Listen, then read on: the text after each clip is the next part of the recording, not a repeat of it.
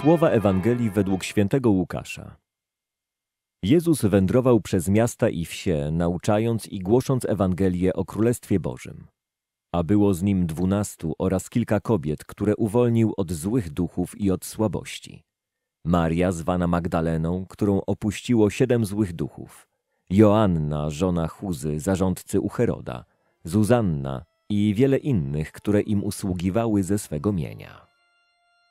Słuchając dzisiejszego fragmentu Ewangelii, pomyślmy o wszystkich dobrych ludziach, którzy poświęcają wiele, aby wyświadczyć nam dobro. Każdy z nas ma takich przyjaciół i dobrodziejów. Miał ich także sam Jezus. Uczniami greckich filozofów i żydowskich rabinów mogli zostać wyłącznie mężczyźni. Jezus przynosi dobrą nowinę wszystkim, bez względu na płeć, kulturę, narodowość czy kolor skóry. Dlatego nie może nas dziwić obecność w gronie uczniów także Marii Magdaleny, Joanny, Zuzanny i wielu innych kobiet. Pierwsza z nich nazywana jest nawet równą apostołom albo apostołką apostołów, ponieważ jako pierwsza ujrzała zmartwychwstałego Pana i posłana przez Niego ogłosiła tę radosną nowinę zalęknionym uczniom. Każdy we wspólnocie Kościoła ma swoje miejsce. Bóg sam wybiera, powołuje i uzdalnia do pełnienia posługi w Kościele. Swoje miejsce w tej wspólnocie mają również kobiety. Nie wolno nam, mężczyznom, o tym zapominać.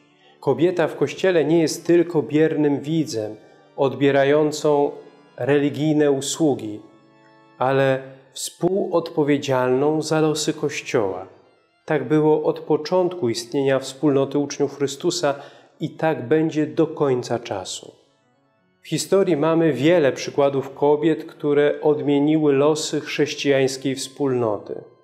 Wymienić należy choćby wspominaną w ostatnim tygodniu świętą Hildegardę z Bingen, świętą Katarzynę ze Sieny, świętą Brygidę Szwedzką, świętą Dorotę z Montów czy świętą Faustynę Kowalską.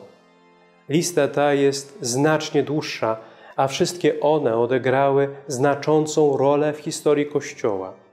Jezus pragnie nam dziś uświadomić, że każdy z nas musi na nowo odkryć swoje miejsce i rolę w Kościele i w pełni ją zacząć realizować. Każdy z nas jest apostołem, czyli głosicielem dobrej nowiny. Każdy wprawdzie w inny sposób, jemu właściwy.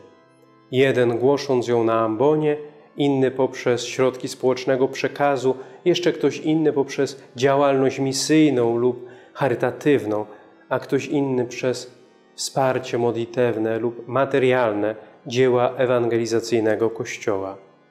Wszyscy jednak jesteśmy wezwani do głoszenia dobrej nowiny własnym życiem. Nie zapominajmy o tym.